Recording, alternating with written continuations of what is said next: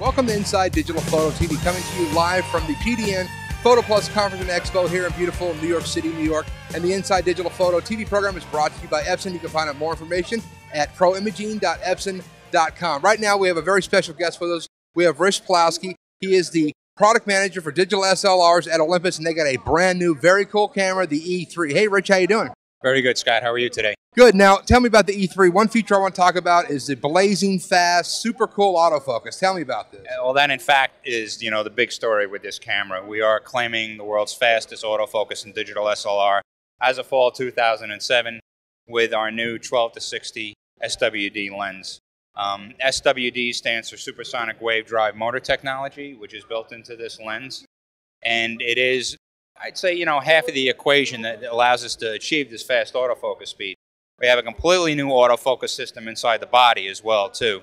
It's a fully uh, newly designed 11-point biaxial AF system, and it allows us to achieve uh, the fastest autofocus speeds in the industry presently. Yeah, when I played with it the other day, it's, it's amazing. It's like it's autofocus before you even think about it. Just like bang, it's there. Very cool. It's milliseconds to get the first release, and with this this level of product in this category, it has to be fast. It has to have fast autofocus. It has to be fast to turn on. It has to have fast frame rate, which this camera does. It's five frames per second. Yeah, this is cool stuff. Now, my buddy here, Dan, Dan Havlik from PDN. Dan, you had some cool stuff we're going to talk to Rich about too. Yeah, I want to find out about more about the LCD screen, fully articulating. What's the benefit of that for photographers?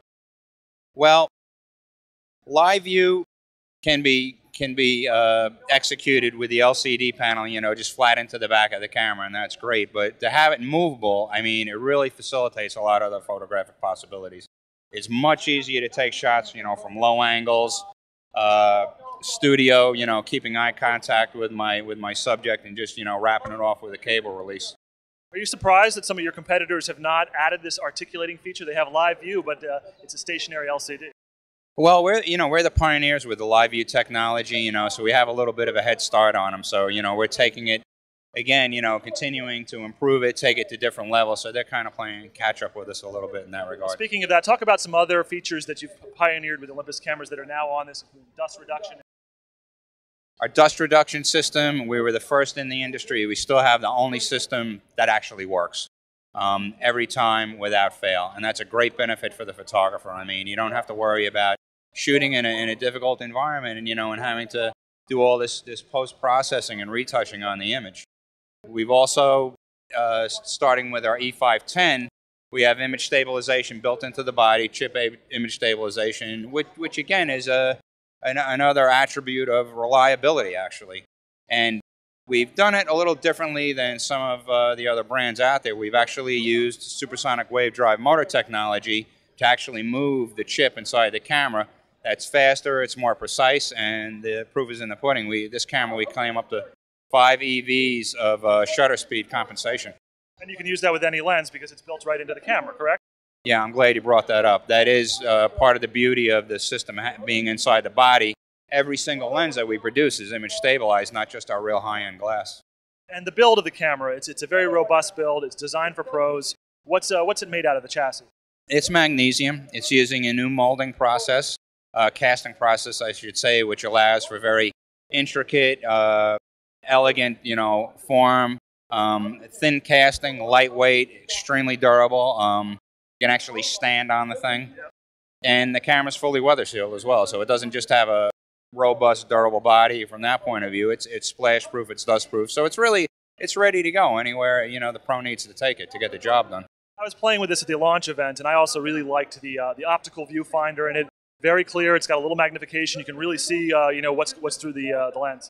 Huge difference from this product's predecessor, the E1. We now have a very nice magnification level with this viewfinder. It's a big, bright viewfinder. It's using new prism coating technologies, and it's 100% accurate, which is again necessary for this this level of photography. Well, we're here with Rich Pelkowski of uh, Olympus talking about the new E3.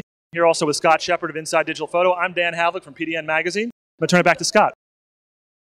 Yeah, this is great stuff. You know, one thing I want to touch on here, Rich, is this uses the four thirds lens mount system. So this is an open consortium with a bunch of manufacturers. Tell us about that, what offerings you have, and actually other people can also take Olympus lenses and put this on anything that uses a four thirds lens mount. That's correct. You know, presently there are several manufacturers that are in the four thirds consortium. Olympus, Panasonic, Sigma, Leica, and Fuji to a lesser extent. Uh, that that allows us to have again open standards. Sigma is making lenses. I can put the Sigma lenses on this camera, interchange them with the the, uh, the Panasonic Leica designs with full intercompatibility with no issues whatsoever. You know, we our, our R&D department looked long and hard at what size chip we were going to use when we decided we were going to get back into interchangeable lens digital SLR. And we settled on the 4 third standard. We feel that this is really a great balance between size and image quality. And I mean, of course, we have, you know, image quality is, is why, you know, you're taking a photograph with a high-end digital camera to begin with is to get a good, good quality image. And we feel that this is really a good balance. And you can really see it when you look at our long lenses and our telephoto lenses are much, much smaller than legacy designs. They're based on 35 millimeter film. Definitely because the crop factor with the 4 thirds mount and the way the chip size is, it's a 2 to 1. So you can have an 800 millimeter lens that's not three feet long and doesn't weigh 40 pounds. Yeah, and that's it's a huge benefit. You know, at the wider focal lengths, the wide zoom lenses, there's not much of a difference from the 35 millimeter standard. When you go to the big glass, it's significant. We're not just talking three or four ounces. We're talking often three or four pounds. You know, five inches overall length. And when you're carrying these things around all day, and you're probably going to have two of them if you're out there as a working pro, it's it's a great benefit to have something that's more lighter and compact.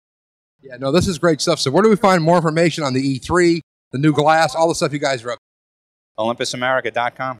Hey, Rich, thank you so much. Thank you, sir. Good stuff, huh, Dan? Yeah, very exciting. A lot of exciting digital SLRs in the show floor this year. Yeah, no, this is cool stuff. So, like you said, go to OlympusUSA.com. You've been watching Inside Digital Photo TV. You can find out more information over at PDNOnline.com, over at InsideDigitalPhoto.com.